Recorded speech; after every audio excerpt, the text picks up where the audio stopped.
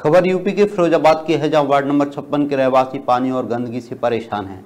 बताया जा रहा है, यहाँ नगर निगम ने पानी की पाइपलाइन तो डाली है, लेकिन पानी नहीं आता है। वहीं सफ़ाई कर्मचारी भी वार्ड की सफ़ाई के लिए नहीं आते हैं। रहवासियों का कहना है कि वार्ड में जगह जगह कूड़े के ढेर लगे हैं और नालियाँ गंदगी से भरी पड़ी हैं। किसी भी घर में कूड़ा नहीं उठाया जाता है। उनका कहना है कि किसी भी व्यक्ति को कोई भी समस्या होती है तो उसका जिम्मेदार नगर निगम और प्रशासन ही होगा। फिरोजाबाद से राकेश वर्मा की रिपोर्ट।